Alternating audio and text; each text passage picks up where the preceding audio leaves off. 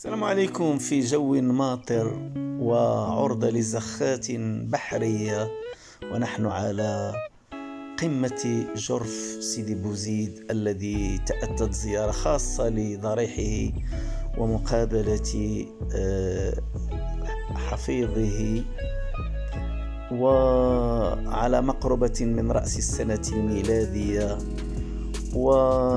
والقلب ينبض ويخفق لهذه المدينة التي تبدأ بالألف وتنتهي بالياء وكما أقول فيها من الألف إلى الياء أحبك آسفي وبعشقك أكتفي. إطلالة على المحيط وأنت دائما في القلب. يا آسفي أيها الجمال الصافي أيها الكنز الخفي.